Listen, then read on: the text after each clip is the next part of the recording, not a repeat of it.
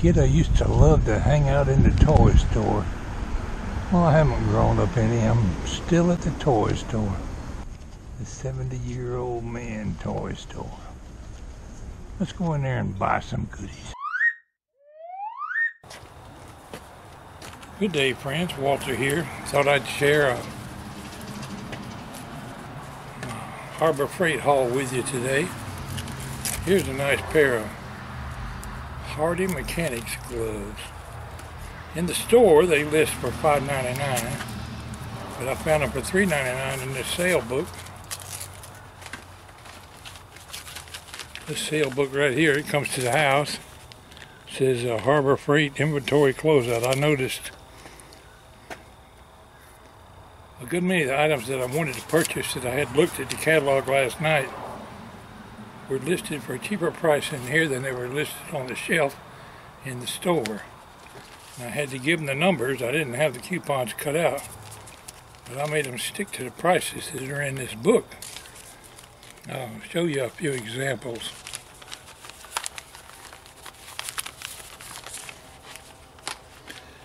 When first went in the store, I asked them if I just give you the number of the coupon, is that good enough? She said, yeah.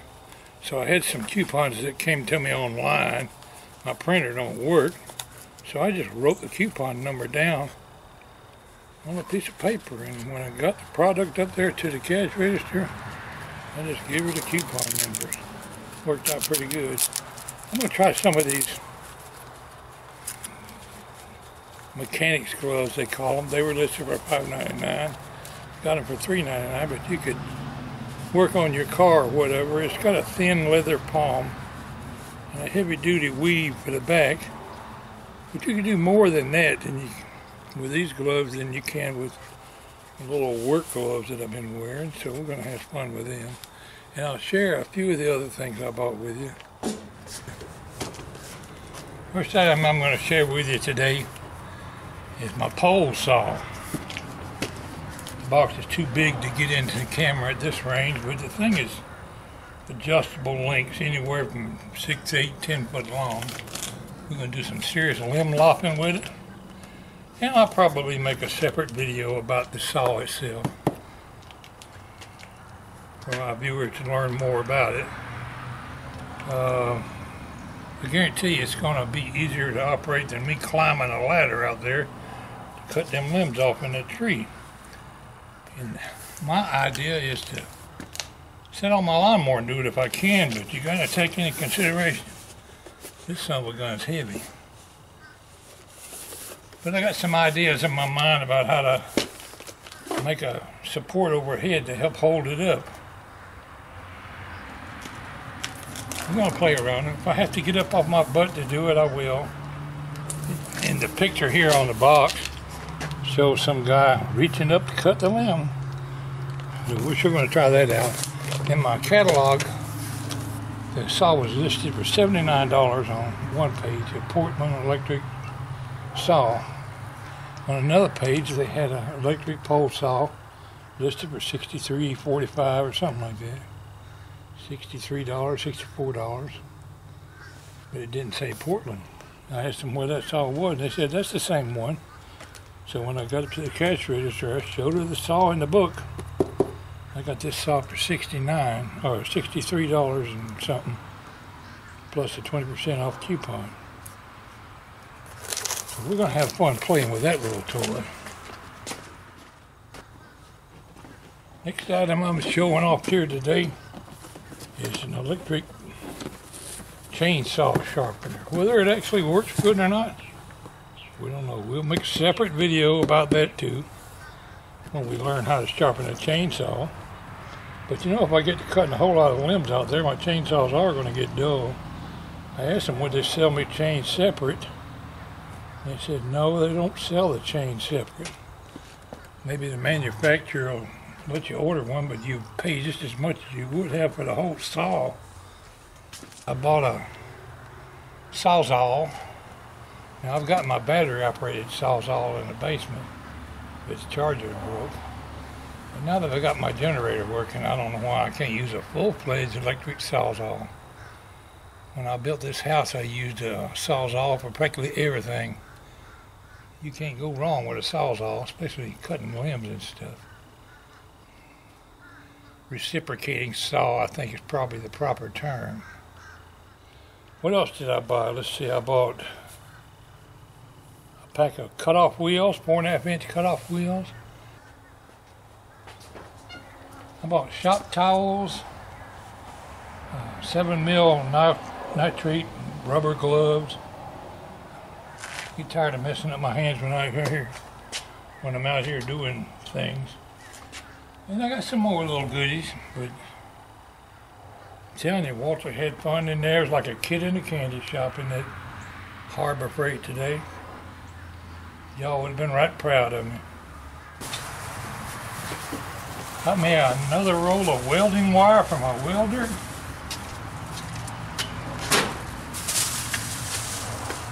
Pair of rubber gloves for nasty work like changing oil on this lawnmower.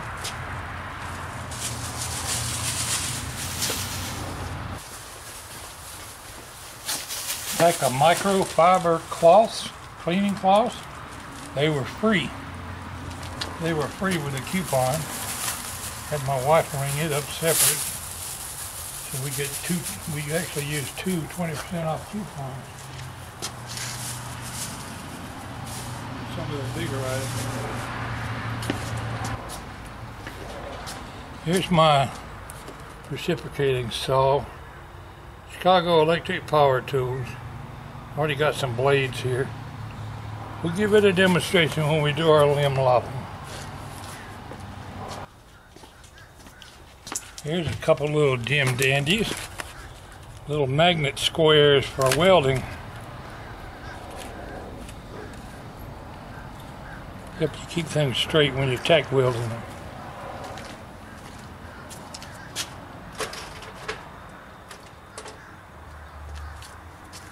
Going to be sometime during the winter. We're going to do my blacksmith project, so I know I'm going to need more welding wire. That's why I went ahead and bought the wire. Want me a little old inexpensive pry bar. We're going to try it out there on some of them ring shank nails, even if I have to drive it down in the wood. See if we can pull nails with that little booger bear.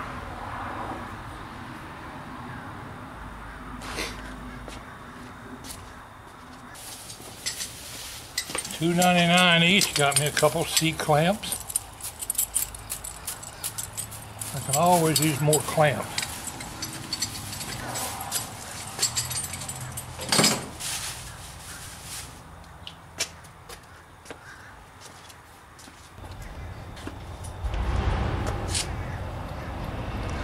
Here's a little goody grubber I got on sale from my book. A pack of 29 piece titanium drill bits. Now you know and I know they're not the greatest drill bits in the world, but they're, they'll uh, do until something better comes along. I made them stick to the sale price on that. I think I got them for like $13.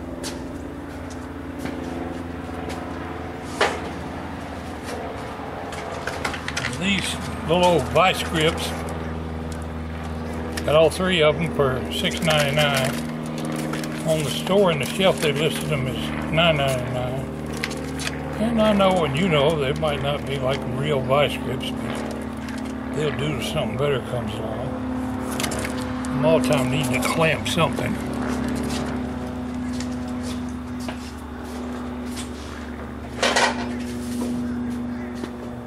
Ever go to Harbor Freight, be sure to get you a free tape measure. 25 foot. I've got, the last two or three times I went over there, I got one of these. So I've got a whole assortment of 25 foot tape measures around here. And it's really a pretty dang good tape measure. They listed in the store for $5.99, something like that. But free is better than $5.99.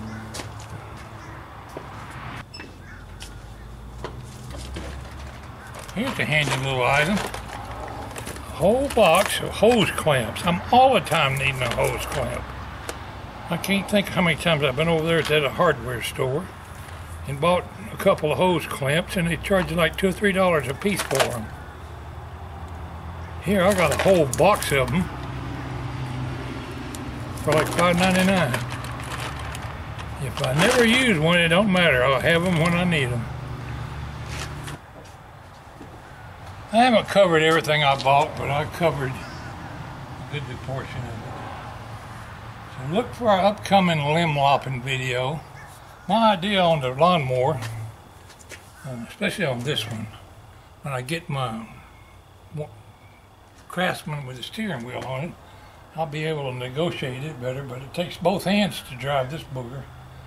But I'm thinking on my generator trailer, pole about that tall bent like a big L, like a little small crane whip, with a bungee cord on it, but hold my extension cord up, plus help me hold that pole up when I'm trying to do it from a sitting position. Anyway, we're going to have fun playing with that.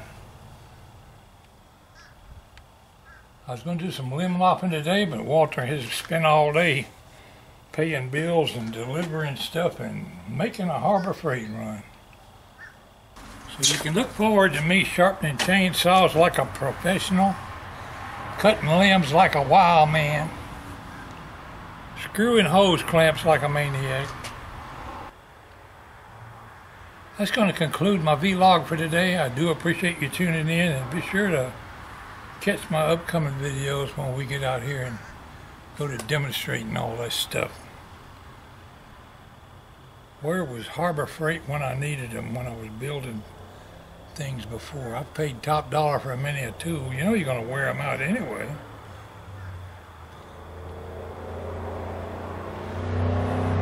But it's, as you saw in my generator running video yesterday, it works pretty darn good.